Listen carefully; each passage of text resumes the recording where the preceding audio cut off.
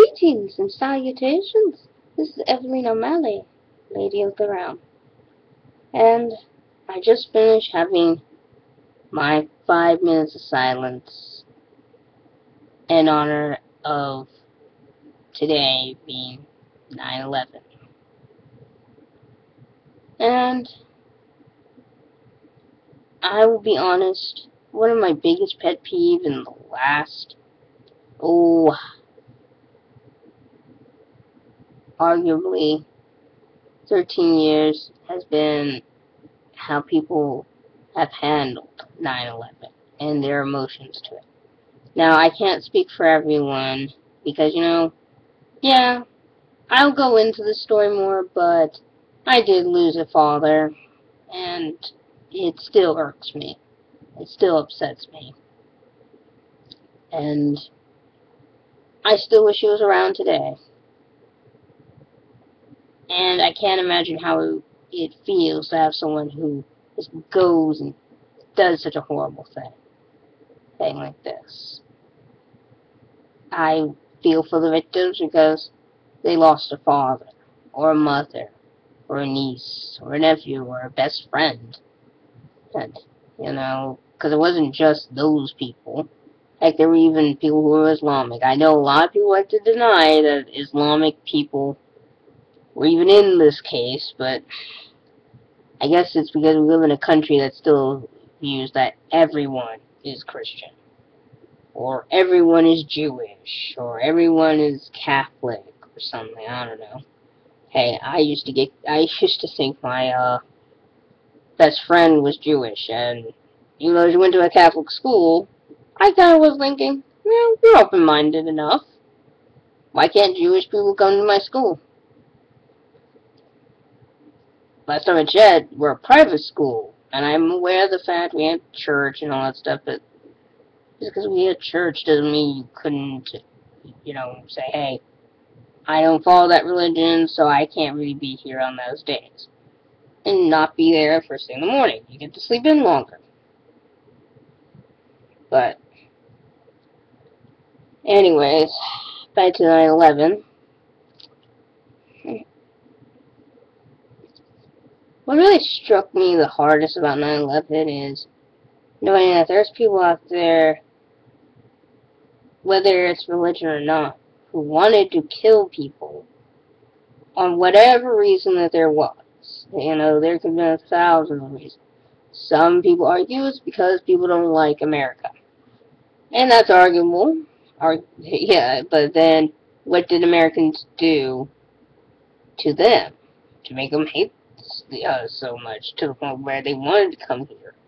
And to those people, and I know this is going to piss off some of my viewers probably, I don't know, I don't know your personal thinking or beliefs. So, yeah, you know, if that's the case, well, I kind of want to apologize for what we did.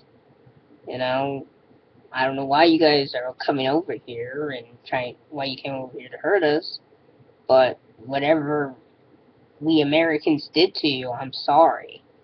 You know, and whatever we're doing to the Islamic people here, and we continue to do here, I'm sorry. Okay. Because, in my vision, sorry, something fell. it was wrong, and I'm sorry. But that's besides the point. Right? Hmm.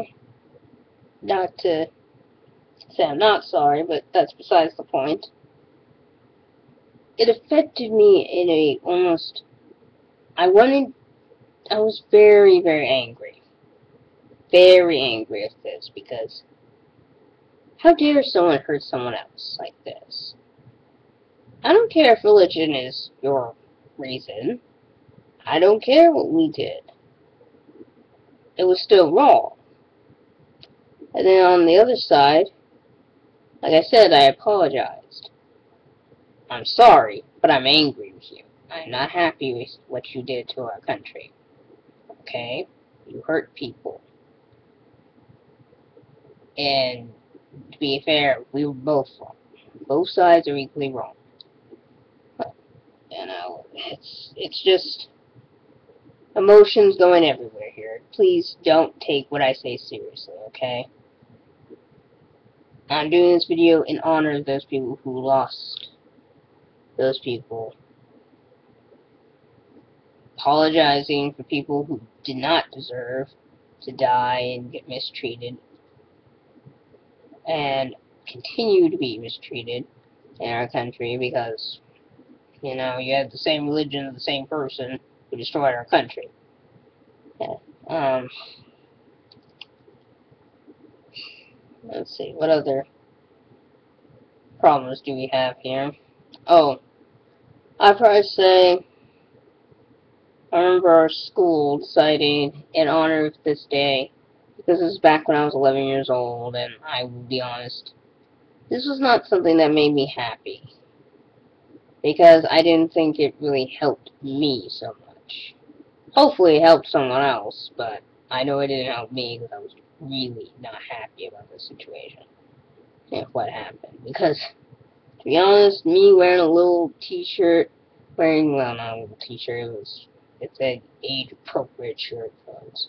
But, wearing a t-shirt that had the American flag on it. It did not make me feel American. It made me feel like... I mean, I hope it helps someone, I really do. But, I kind of felt like, how can I go on being patriotic? How can I go on believing that America is a good place? And, and a safe place at that when people come in and bomb a building and hurt thousands upon thousands of people. You know, I hope it does give someone else a little bit of hope. Because that was what it was supposed to be. It was an honor of those victims. And I'm glad my school did it. I'm happy to live in a country where the flag's waving and stuff like that. I'm glad that our country has proven to be a strong moral fiber in a lot of ways. And to that, I'm also glad that we do go over to other countries and say, yes, you, we shall help free you and stuff. Even though there's times where I wish we just leave the people alone. Especially nowadays. I really wish that we would. Because it's not democracy these people need.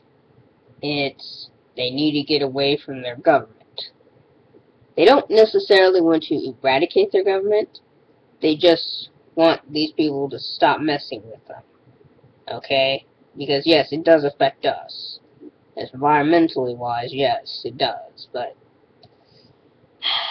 you know, if it doesn't, then, yeah. But I still feel like, well, yeah, but knowing that there are people in those countries that are getting harmed and killed, it upsets me too, because when you think about it, they didn't want to kill us. It was on orders. Not even their orders. And that's actually kind of what bothers me.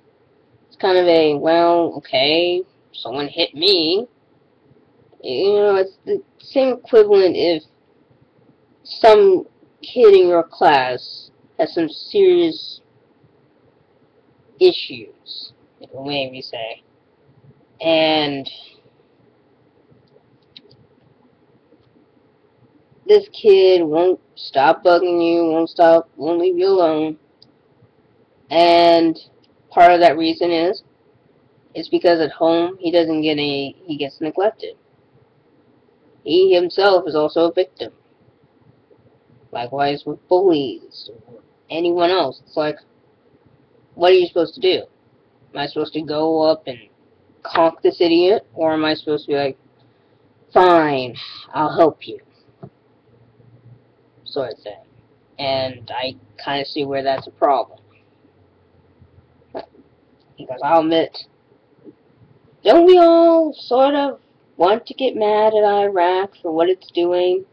Don't we want to get mad at America for continuing to be a police state? And telling these other countries what they can and cannot do, or, you know, you need to become a democracy and keep forcing that upon them. Huh. Anyways, that concludes my video for today. I plan on doing another video in for my continuing birth happy birthday to me. I know, selfish as that sounds, I just doing it for, for the fun of it all, folks. Don't don't judge me. And I say with a raised tea mug to you and an honor to those people who hmm, lost so many people, lost lives, lost lives in this situation. I'm sorry that this isn't scripted, but I wanted to go off of raw emotion, not just, you know, I didn't want it to sound like I was reading from a piece of paper. I afraid it would have sounded disingenuous, you know, not genuine. However, again, please follow me on my Tumblr, my Twitter, and if you want to, subscribe. If not, thank you for watching this video, and till next year, huh?